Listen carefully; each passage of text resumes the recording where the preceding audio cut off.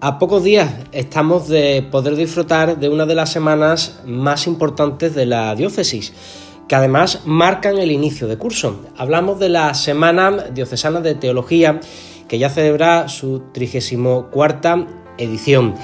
Ya estuvimos hablando con el primer ponente, el sacerdote Juan José Silvestre, y ahora estamos con la segunda ponencia, que tendrá lugar el martes 19 eh, vamos a recordar los horarios de mañana de 10 y media a 1 en el Auditorio San Juan Pablo II y en este mismo lugar también por la tarde de 8 a 9 y media.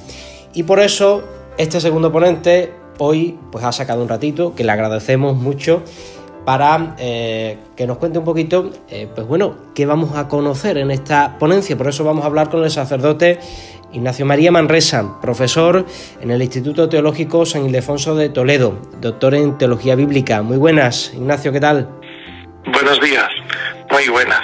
Bueno, lo primero, eh, Exégesis y Teología según Dave Bermund, título de esta ponencia, que tendrá lugar el martes, que será usted el encargado de, de esta conferencia. ¿Qué vamos a ver en esta, en esta ponencia?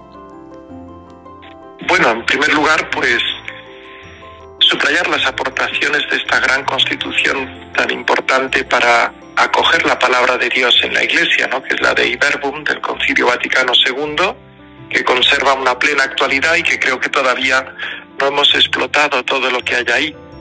Y, y después entretenernos principalmente en cómo hay que leer la escritura en la Iglesia, es decir, cómo tenemos que recibirla, y de qué modo pues es el proceso mediante el cual pues se hace una interpretación verdadera, recta, fructuosa de la Sagrada Escritura. Eh, qué importante, ¿verdad? Es escuchar la palabra de Dios que, que, además eh, eh, está viva, ¿no? Cada vez que la, que la proclamamos, ¿no? En la liturgia, ¿no? Y es importante porque es eh, donde el Señor nos habla, ¿no? Así es, sí, sí, totalmente. O sea, por una parte, cómo se recibe pues en la liturgia, en la vida de la iglesia, y luego particularmente cómo se recibe la exégesis, que es pues el ejercicio teológico de la interpretación de la escritura, ¿no? Que está al servicio de la fe del pueblo de Dios.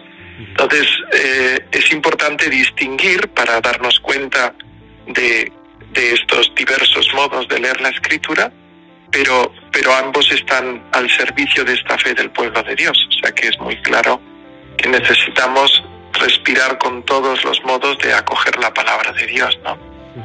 Además, Ignacio, eh, hay que decir que es importante porque, bueno, eh, como saben, vamos a celebrar un jubileo en el año 2025 y es el Papa Francisco quien nos ha pedido eh, que preparemos estos textos fundamentales del Concilio Vaticano II, ¿verdad?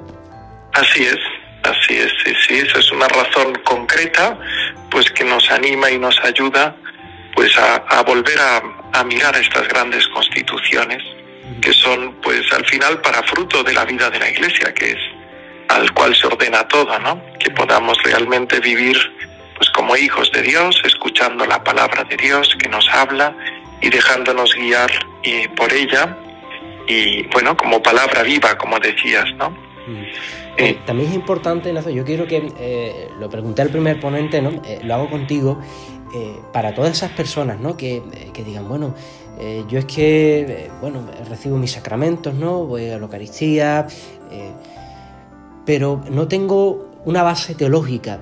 ¿Es para mí también esta ponencia? Em, bueno, me han pedido dos, dos ponencias, una por la mañana uh -huh. y otra por la tarde, ¿no? Quizás la de la mañana es un poco más teológica, uh -huh. pero la de la tarde pretende ser pues realmente pues ilustradora para cualquier persona que quiera pues no sé, acercarse al misterio de la palabra de Dios un poco mejor, ¿no? Entonces, en ese sentido, mmm, sí, sí, plenamente. Que puede servir para cualquier persona, incluso para introducirle eh, en el ámbito de la teología y comprender aún más, en este caso, con su ponencia, pues cómo se vive la palabra. Eso es, eso es, ese. Pues cómo se acoge y se recibe.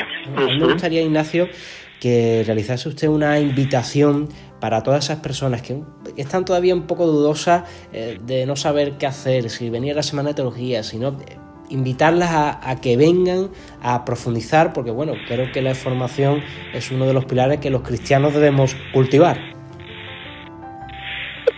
Pues es muy claro, ¿no? Es decir, ¿qué diferencia tan grande hay entre acoger bien la palabra de Dios eh, o no acogerla, ¿no? porque no la sabemos leer o entender. Y creo que la ponencia sirve para esto, para ayudar a acoger bien la palabra de Dios. Y si la palabra de los hombres es importante y escucharla y entenderla y nos puede guiar, cuanto más la palabra de Dios. Entonces, yo creo que hay que aprovechar estas ocasiones en medio, pues muchas veces, de tantas palabras que, que escuchamos en nuestro mundo, de disponernos mejor para escuchar, pues la que es verdaderamente la palabra que cambia la vida, que es la palabra que Dios nos dirige, pues sobre todo en Jesucristo y que incluso se ha encarnado en este modo de esta palabra humana transmitida a través de la escritura. Pues muchísimas gracias, don Ignacio, por atendernos y le esperamos la próxima semana aquí en, en Asidonia Jerez para escuchar su ponencia.